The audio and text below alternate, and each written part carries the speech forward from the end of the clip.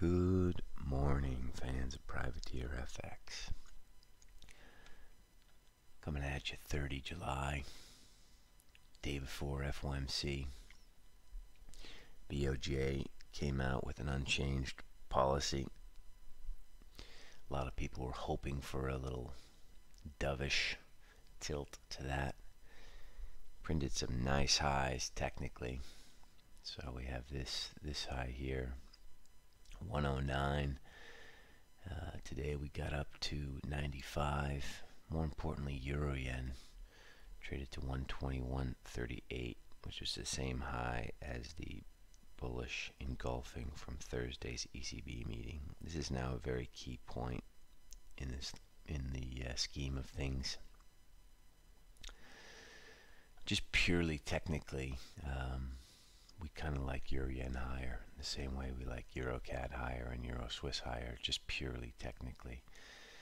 None of these guys have really confirmed on this uh, bullish engulfing ECB days, but because we're summer markets and because we're FOMC, there hasn't been a lot of energy in FX with the exception of sterling products. Um, so we're on wait and see mode, but as we make new highs from these bars, um, Privateer FX will be long these euro crosses. So, you know, you're looking at this euro yen level, 147.10, let's call it. Um, and euro yen now 121.39. Euro Swiss we're leaving alone because it's it's Euro Swiss. Um, let's have a look at cable. Just getting smashed. I, uh, I'm laughing not because I have a position on, but it's just nice to see some volatility. Um, very straightforward, no bounce. This uh, Boris Johnson dogfight is spooking the market.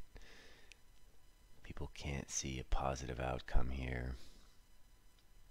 Um, don't know what to say. Can't really chase this here. We basically missed it, which is a shame, but um, such is life.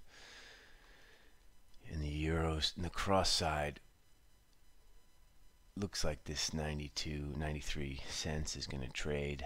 Um, that's the key level, kind of the all-time highs.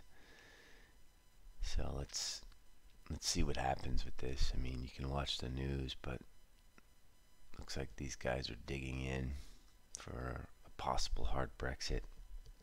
I'm pretty sure the day is going to get saved at the last second or towards the last second. Um, but certainly, I think a little bit early to be buying upside structures in cable.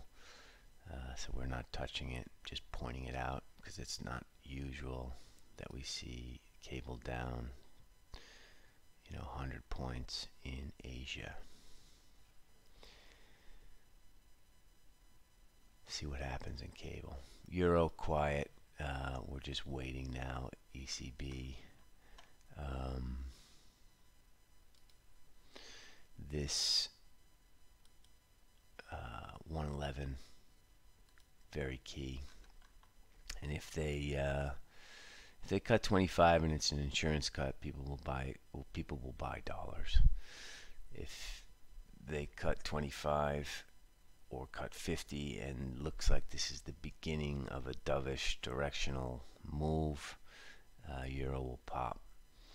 So you want to be ready for both sides of this technically. Um, euro downside through 111 looks quite tidy.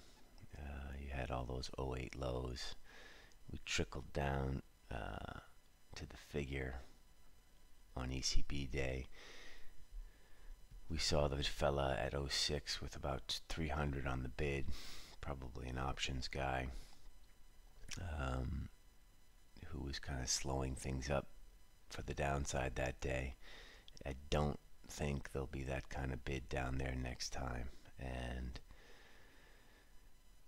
you know, if they're one and done, you just have to smash Euro. Um, and there'll be money to be made. So, again, like we talked yesterday, get your head right. start thinking about this now. You should have been thinking about it all day yesterday. I was thinking about it all morning this morning as I lie in bed. I was thinking about it. I'll be thinking about it all day today. Get your amounts right, get your execution lined up, and uh, let's get ready for a wild trading day tomorrow. Not much to do today, uh, but tomorrow it's going to be a humdinger. As far as the calendar today, it's really crap. Consumer confidence out of the U.S.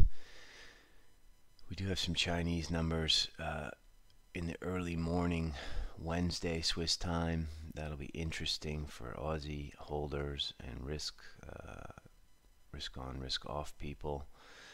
But today we got nothing. We got we got consumer sort of confidence numbers out of out of Europe, KF, KF, KOF out of Switzerland, which is our um, sort of consumer confidence or economic barometer numbers. German CPI, which isn't going to move much, but needs to be watched. Supposed to come out at 0.3.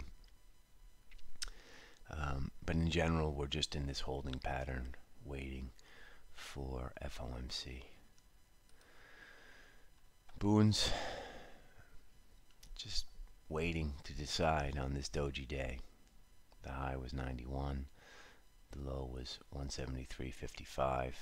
We're edging towards the top side, but who knows? Um, these are the two key points in Bunds. They were going to follow uh, U.S. They're going to follow U.S. bonds, and again, there's going to be a lot of money to be made on bonds um, tomorrow. The key point in 10's downside is 126.23. The key point on the top side is, is 128.15, which is dead set in the middle. 30s are going to look exactly the same. Um, so you got to pick your poison, pick your pick your horse. Here's 30s, same thing. Smack the pony in 30s through 153 the figure. Whew. I really like that downside if he's one and done. Man. Uh, but just because I really like it, you got to be careful. We're not trading shit that we really like. We're just trading setups with no bias.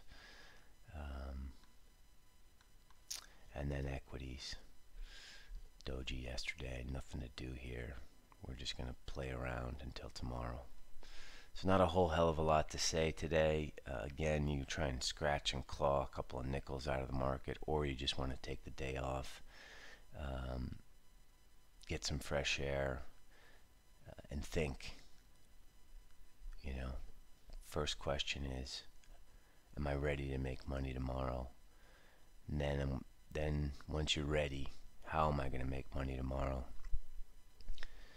And then under what scenario? am I going to make money tomorrow? And you got to be ready for all scenarios. And there's not that many, right? Not that many scenarios, right? There's maybe four different scenarios. Finally, gold. Uh, we talked about this. We're skeptical. Uh, we talked about too many tourists who are long gold, uh, and yet gold popped up 17 bucks yesterday, um, or today, or whenever it did. We're not going to chase this. Um, this is going to be crazy volatile as well uh, tomorrow. And as you can see, they're all kind of the similar, same type trades. It's world of one trade here. I mean, there's a there's this there's this marginally hawkish if it's a one and done, and then there's this dovish if it's the beginning of a series of cuts gold is going to trade the same way as dollar Swiss. It's going to trade the same way as euro dollar, Aussie. You know, if it's dovish, they're going to buy the crap out of gold. If it's hawkish, they're going to sell the crap out of gold. Uh, and so, if you love trading gold and you think gold is your is your number one go-to horse, get right in there. I can say that we will not be trading gold on an FOMC. I don't like the liquidity structure of gold uh, in the futures market. So we'll be trading other stuff. But to each their own. Point is, start thinking about it now. Get your head right. Anyway, all right, sermon over. Good luck out there, people. We're going to keep thinking, keep strategizing, keep writing about what we want to do tomorrow, and just get ready. Get ready for the day. Good luck out there, people. I will talk to you tomorrow morning as we get closer to D Day. Uh, wish you a good day ahead. Ciao.